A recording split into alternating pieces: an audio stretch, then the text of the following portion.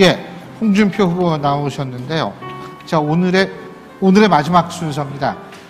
오늘의 마지막 순서고, 어, 제가 앞선 말씀드린 대로 22분의 시간이 주어집니다. 시간은 잘 지켜주시고요. 자, 그러면 순서에 따라서 그 박 교수님이 먼저 질문을 시작하는 걸로 해서 그다음부터 이제 자유롭게 토론해 주시면 됩니다. 자, 타이머 시작해 주시죠. 아, 홍카콜라에서 닉네임을 바꾸셨더라고요. JP로. 그리고 빨간 넥타이도 버리시고 무슨 일 있으셨어요? JP는 바꾼 게 아니고 네. 제 이름의 이니셜이 JP입니다. 네. 근데 혹시 충청도를 의식하고 JP라고 하신 건 아니에요? 그렇지 않습니다. 그렇진 않으시고요. 그런데 김종필 총재께서는 어, 크신 분이기 때문에 대문자로 사용하고 저는 어, 같은 JP지만은 소문자로 하시고. 소문자로 사용. 우리 에, 후보께서는 말씀이 더 느려지신 것 같아요, 예전보다. 그 시간은 20분밖에 없으니까 다음 질문 넘어가도록 하겠습니다. 그, 뭐, 검사도 지내셨고, 법률을 다루셨으니까, 이 민주주의라는 게 다수결 아닙니까? 네. 네. 그런데 다수결로 할 수 없는 것이 있습니다. 그러니까 헌법의 내재적 한계지요. 우리 헌법 조항에서 아무리 다수결이어도 또는 헌법에서 어, 규정한 대로 어, 가중된 다수결을 요한다 하더라도 절대로 고칠 수 없는 대한민국의 핵심 가치 세 개만 뽑아주신다면 어떤 것들이 있을까요? 자유민주주의. 네, 하나, 그 다음에 의회주의. 의회주의, 네, 둘, 그리고 사법권의 독립. 사법권의 독립. 사법권의 독립. 그러면 법치주의가 빠지네요. 법치주의는 빠지는 게 아니고 그 당연한 거죠. 당연한 거다. 그래서 그렇습니다. 당연한 거여서 뺐다. 뺀게 아니라 세계 중에서는 우선 그게 제일 중요하고 그 다음에 이제 법치주의를 들 수가 있겠죠. 네, 그러면 수정하시는 거군요.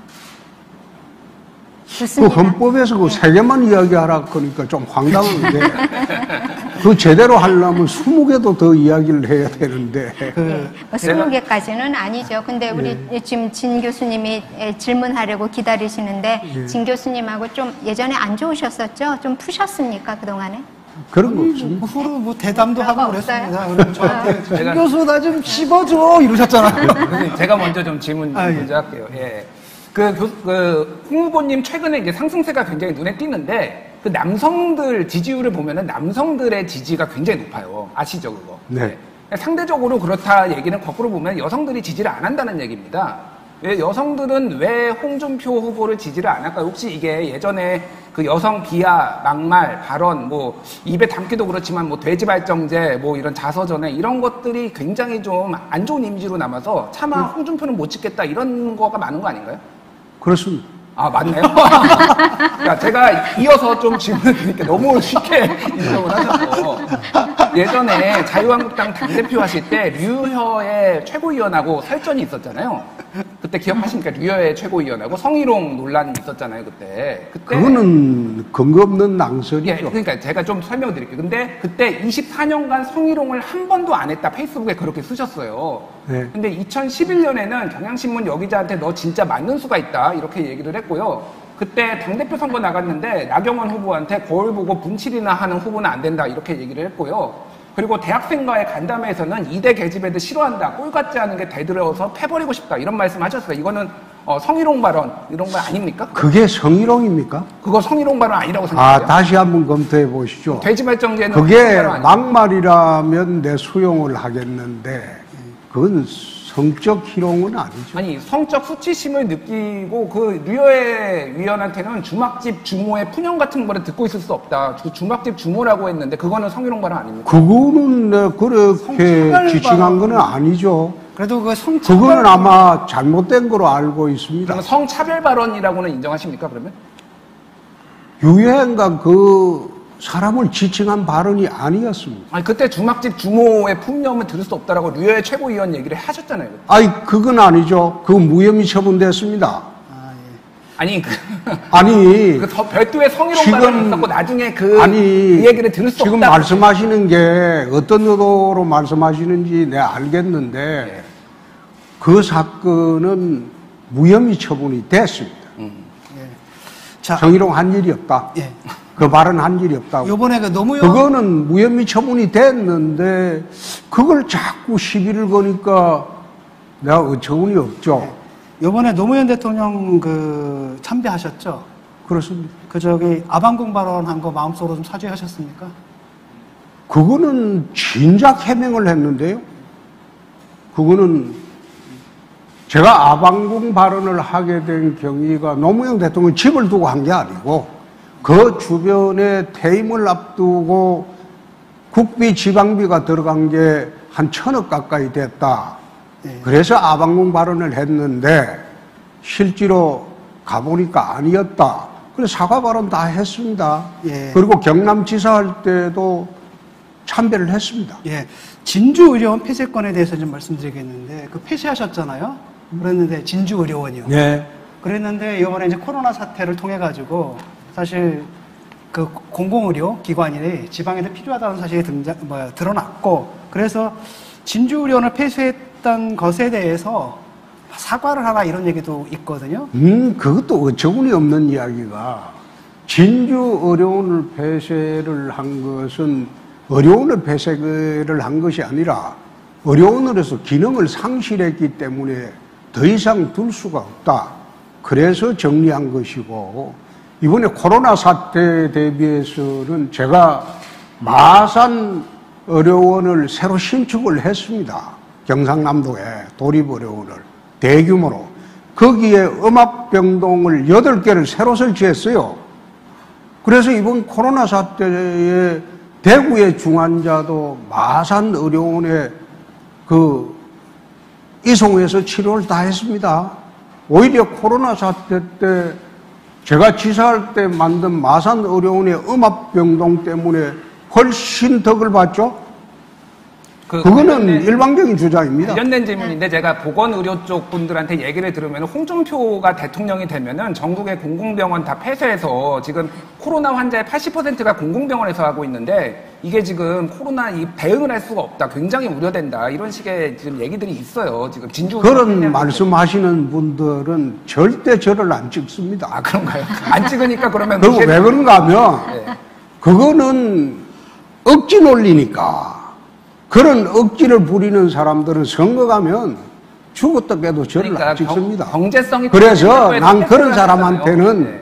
대꾸를 하지 않습니다. 그러니까 말 같지 않기 때문에. 경제성이 중요한 게 아니라 언제든지 이렇게 활용하라고 팬데믹 상황에서 이렇게 한 건데 경제성이 없다고 지금 잘못 말씀하시는 게 진주 의료원 폐쇄할 때는 경제성 문제로만 폐쇄한 게 아닙니다.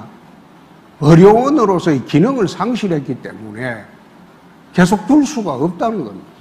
그 2000 그래서 폐쇄한 겁니다. 2009년 신종플루가 왔을 때 진주의료원에서 11,200명을 진료했고 498명을 치료했거든요. 그 다음에 지금 병상 한 개당 인구수가 서울이 3,758, 전국 평균이 4,104명이거든요, 한 개당. 그런데 경남은 얼마인 줄 아십니까? 네? 경남의 1인, 아, 병상 한, 한 개당 할 인구수. 그거는 그 당시에 서부 경남 같은 경우에 어, 보건복지부가 발표한 것은 의료 과잉 지역으로 발표를 그래서 했습니다. 거기가 경남 같은 경우에 11,280명이거든요. 그러니까 전국 평균의 3배에 가깝습니다. 근데 그게 상당 부분 질, 진주 의료원을 폐쇄한 데서 발생한 효과다. 진주 의료원 폐쇄 가지고 자꾸 그런 식으로 예, 다른 어, 질문 할게요. 좌파적 예. 사고로 주장을 하시는데 그거는 이미 대법원에서도 내 이렇게 소송을 내- 내보이나? 했고 네, 다른 질문 할게요. 그 당할 만큼 네. 다 당했는데 그게 네. 사실상 진주 의료원 폐쇄를 잘못했다고 주장하는 사람은 내 앞으로- 대통령 선거 나오면 절대 그런 사람 나 안 찍습니다. 앞으로 신종 코로나가 그건 왜 골수니까. 오케이, 다음 질문 할게요. 아, 골수 좌파고 외골수니까 그런 사람은 저한테 안 옵니다. 남 그런 사람 보고 대통령 선거 나가는 거 아니, 아니에요. 간호사들이 다 예. 좌파입니까 그럼? 전- 자, no, 다음, no, no. 다음 질문 그래 할게요. 억지 논리를 말씀하시는 지금 면접관이 내가 참 그 생각이 좀 답답합니다. 아, 뭐 국민 국민 여러 의, 의, 의견을 뭐 대변하시는 측면들도 있으니까 이 다음 국민 질문 여론을 대변하는 거는 내 받아들이죠. 네, 다음 그런데. 일방적으로 편향된 시각으로 그 질문을 하니까 그런 거는 내 받아들이기가 네, 어렵다. 제가 저희가 질문하는 자. 거 상당 부분 많은 국민들이 생각하고 생각하는 것을 받아 많은 국민이 아니라 소수의 좌파들, 극좌파들이 생각하는 거죠. 자, 다음 질문 넘어갈게요. 시간이 20분밖에 없습니다. 하십시오. 어, 정책에 대해서 제가 관심을 많이 가졌는데 정책 발표했다고 저희한테 온 저한테 온 자료는 딱 PPT 한 장이더라고요. 그래서 제가 많이 놀랐습니다. 그래서 다른 데서 이렇게 좀 찾아보니까 부처를 축소하겠다, 의원 수를 감소하겠다, 징병제를 폐지하겠다 이런 정책을 내셨다고 하던데 맞습니까? 네. 뭘 폐지하겠다? 징병제. 징- 징병제. 폐지, 모병제, 모병제. 아, 예. 그래서 잘못 알고 계신데 그러니까 그래서 정확하게 징병제를 폐지하겠다. 그렇죠? 그, 네. 예. 그 그래서 어, 제가 정확한 정책을 좀 알고 싶었는데 예. 잘 어, 정책 발표회 때 PPT가 딱 한 장이어서 제가 너무 놀랐어요. 근데 의원 수 감소 아, 감축하겠다. 제가 18대 때 국회의원 수 200명으로 줄이자고 법안 내는데 동의 안 해주시고 지금 와서는 축소하시겠어요? 나는 그건 기억이 없습니다. 몇 명으로 축소하시겠어요? 그냥 가장 편한 대답이 그때 기억 안 난다 이런 거 아니에요? 기억 안 난다는 게 아니고 그 당시에 아마 의원님이 소수당에 있었기 때문에 관심을 안 썼겠죠. 그러게요. 어, 소수, 소수당에서 소수에 대한 관심이 좀 어, 부족하신 거 제출하는? 법안이 통과되기가 상당히 어려운 그러니까 홍 의원님이 예, 그 당시에 홍 의원님이 해- 예, 원내대표도 원내대표. 하시니까 아, 해주셨으면 의원수 그때 감축할 수 있었는데 예, 그건 그렇고요. 의원수를 몇 명으로나 줄이려고 하십니까? 네, 200명이라고 했습니다. 200명 저하고 똑같으시네요. 제가 하원 냈던 법안이 200명이었죠. 150명, 네. 상원 50명. 네, 많은 국민들이 그거는 찬성을 할 것 같아요. 부처는 몇 네. 개로 축소를 제가 하시겠어요? 좀 관련해서 말씀을 드리면은 2015년에 국회의장 산하에 이제 국회 의원수 조정 관련해서 있었는데 OECD 34개국 중에서 한국이 국회의원 수가 31위로 적었어요. 그러니까 인구 10만 명당 한 명이 되려면은 국회의원 수는 500명이 돼야 된다. 그래서 오히려 줄이면은 굉장히 한 사람 한 사람이 특권을 가지게 되고 그래서 의원들의 보수를 낮추고 권한을 낮추는 대신 의원 수를 늘려야 된다라는 게 대체적인 정치 전문가들의 얘기거든요. 오히려 그러면 정치 포퓰리즘 아니실까요? 네, 답변을 할게요. 1917년도에 미국 인구가 지금보다 3분의 2 정도 됐을 때 하원수가 435명입니다. 지금은 미국 인구가 그때보다 3분의 1이 더 늘었어요. 3억 2천 명. 그- 그래도 미국은 하원수를 늘린 일이 없어요. 미국 기준으로 하면 우리나라 국회의원 수는 7, 80명만 하면 됩니다. 그게 2012년에 그런데 왜 국회의원을 그래 많이 늘리자고 하는지 예. 나는 이해하기 어렵다. 2012년에 안철수 후보가 똑같이 100명 줄이자라고 얘기한 건데 혹시 안철수 후보 공약을 카피하신 건 아닌가요? 아, 제 질문하시는 게 꼭 저래 베베 꼬여서 질문하니까 내가 답변하기가 난감하네요. 딴 부처는 몇. 부처는 몇, 얼마나 축소를 하시겠습니까? 부처는 몇 개나 어떤 부처를 축소하시겠습니까? 부처는 여태 발표한 거는 외교와 통일부를 통합한다. 아, 그리고 통일부. 여가부와 국, 어, 보건복지부를 통합한다. 그리고 중소기업 벤처부하고 산업부를 통합한다. 지금은 내가 비슷한 세 개만 거죠. 이야기를 하겠습니다. 그더 이상 이야기를 하면 각 부처에서 혹시 어, 엄청난 저항이 들어오는 수가 있으니까 자, 그세 비례- 개만 예. 우선 이야기하겠습니다. 네. 비례대표제를 폐지하자라고 마셔- 말씀하셨지 않습니까? 네. 그럼 비례대표 네. 없애자. 그렇습니다. 지금 우리 국민들은 1인 1표가 아니라 1인 2표잖아요. 하나는 인물 투표, 하나는 정당 투표인데 만약에 비례대표를 이제 폐지하게 되면 우리는 한 표만 그러니까 국민은 이제 한 표를 잃어버리는 거죠. 근데 이게 당시 그 헌법재판소에서 이게 위헌 판정이 나가지고 이 제도가 도입된 거거든요. 만약에 비례대표를 없앨 경우에 헌법재판소에서 또 다시 위헌 판정이 날 수 있는 거 아닐까요? 헌법을 바꾸는 판인데 무슨 헌법재판소가 필요합니까?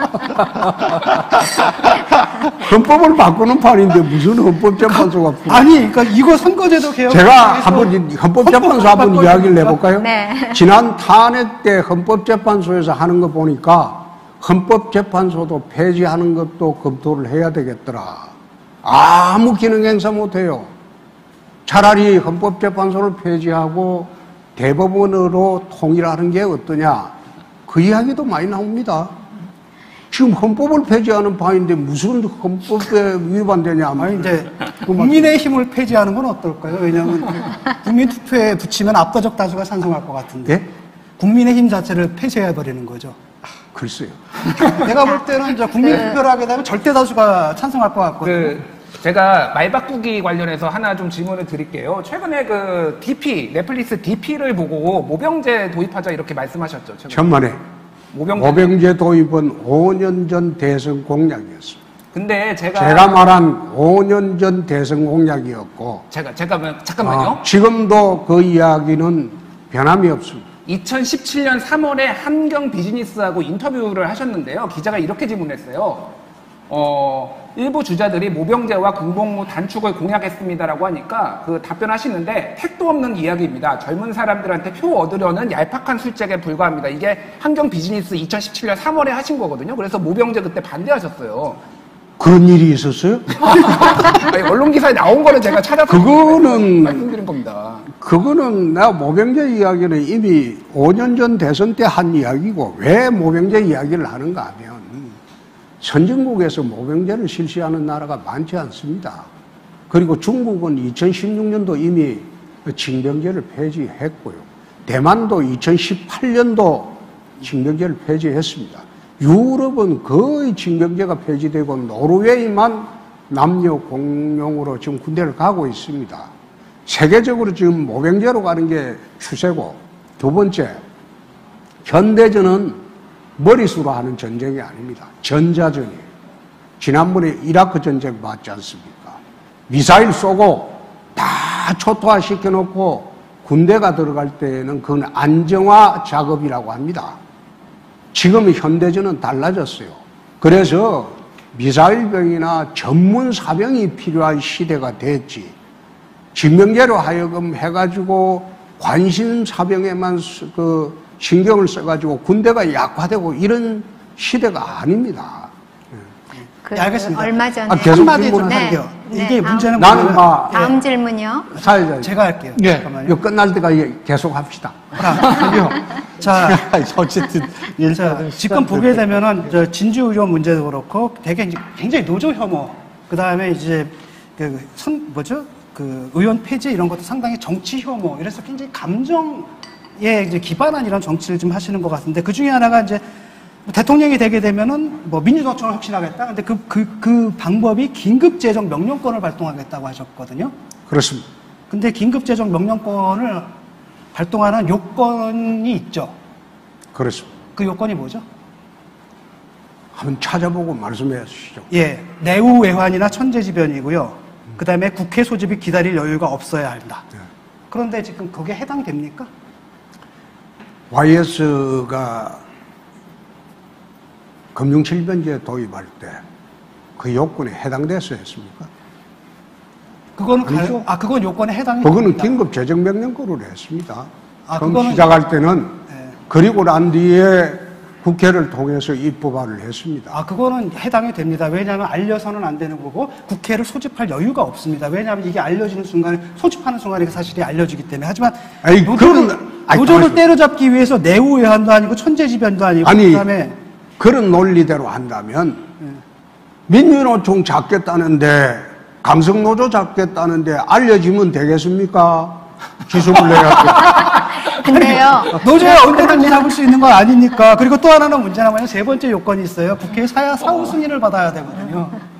돼? 예? 사후 국회에 사후 승인. 승인을 받아야 된다고요. 사후성의를 받는 시기가 아니, 2년 이게 정해지진 이 않습니다. 요건은 알고 주장하신 겁니까? 그럼요. 모르셨던 것 같은데. 그 어, 내가 사법시험을 합격한 사람입니다. 아유, 저도 저 고등학교 나온 사람인데 삼각함수 다 까먹었습니다. 그 근데 어떻게 그 당에서 면접관들 저 두 분은 아주 골수 좌파들인데 당에서 면접관을 좌파세요? 저런 분들을 면접관으로 했죠? 보수를 전향했다 그건 그러시는데. 내가 참 내가 자, 그 저한테는 상관이 없습니다만은 다른 후보들이 골탕 먹겠는데요. 자, 어, 다른 후보, 후보자께서. 아, 간단하게 해주십시오, 박 교수님. 네. 지금 가장 중요한 숙번의 능력이 있느냐 없느냐는 우리 뭐 아주 어, 작은 문제라고 하면 작은 문제일 수- 수도 있는 뭐 어, 의료원 이런 것도 있겠지만 사실은 분단 국가로서 외교 안보가 굉장히 중요하지 않습니까? 그렇습니다. 북핵 문제 어떻게 푸실 겁니까? 북한 문제요. 해방 이후의 대북 정책을 쭉 보면 이승만 정권 시대에는 반공주의였어요. 박정희 시대에는 성공주의였어요. 노, 노태우 정권 들어와서는 북방 정책이었어요. DJ 노무현 시대 와서 햇볕 정책을 썼습니다. 예, 간단히 줄여 그리고 문재인 정권 들어와서는 지금 논의가 되는 게 자기들은 햇볕 정책 3기라고 하지만 제가 보건대는 저건 종북 정책입니다. 맹목적으로 북을 따라가는 정책. 그래서 예, 후보 그래서 시간이 다 됐습니다. 제가 대통령이 되면 제일 첫 번째 할 일이 남북 풀간섭주의를 천명을 하겠습니다. 불가능하지. 상호 간사 하지 마자. 예, 너희는 너끼리 살아라. 예. 우리는 우리끼리 산다. 남북 상호 불간섭주의를 천명하고 알겠습니다. 그 다음에 체제 경제주의를 네. 홍보 시간이 다 돼서요. 시간, 시간이 어, 다 시간이 다 돼가지고요. 간단하게 인터넷상에 올라온 국민 질문 아니 하나만 하겠습니다. 그거 천명을 22분이 하고 걸리는 아, 거예요. 시간 좀 늦어도 돼요. 안 됩니다. 왜 해도 돼요? 반대편 좀 저녁에 자, 자, 자, 밤새도록 해도 돼요. 자, 간단하게 답변해 주세요. 반대편 의견을 안 듣는 것은 지금 정부와 다를 바 없는 거 아닌가요? 이런 질문이 있습니다. 예? 나 반대편 의견을 안 들을 것 같은 거는 지금 정부와 다를 바 없는 것 아닌가요? 이 질문이 인터넷에 반대편 올라왔거든요. 듣죠. 예. 어, 다 듣죠. 아니, 지금 좌파라고 좌파라고 몰아붙이셨잖아요. 좌파라고 골수 좌파라고 몰아붙이셨잖아요. 예. 아니 그게 아니고 베베 꼬여서 질문을 하니까. 알겠습니다. 시간이 다 됐습니다. 22분. 오늘 여섯 분 했는데 정확하게 시간 22분씩 다 했거든요. 아니, 예, 더 하죠. 기계적 표현. 카메라 진짜 끄고 뭐 하시죠. 재밌어가지고. 근데 어쨌든 우리 홍준표 후보님 오늘 수고 많이 하셨습니다. 네, 고맙습니다. 수고하셨습니다. 수고하셨습니다.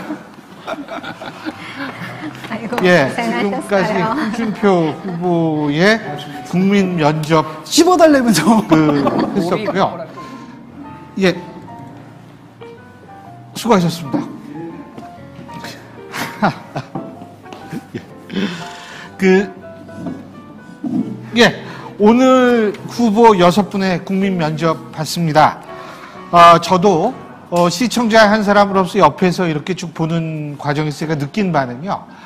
어, 정책에 대해서도 잘 알지 못했던 후보들의 정책에 대해서 잘 알지 못했던 부분도 알 수 있었고 또 나름대로 상당한 긴장감도 있고 흥미롭게 잘 진행된 것 같습니다.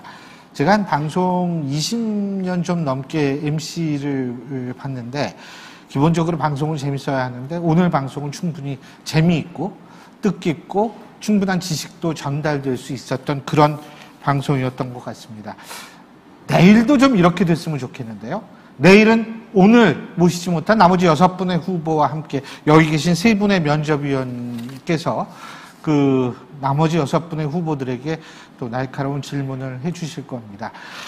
어, 장시간 동안 정말 시청해 주셔가지고 여러분 감사합니다. 저도 시간이 이렇게 빨리 지나갈 줄 몰랐어요. 예, 오늘 아주 뜻깊은 방송이었던 것 같습니다. 자, 저는 내일 오후 2시에 여러분 다시 찾아뵙겠습니다. 고맙습니다.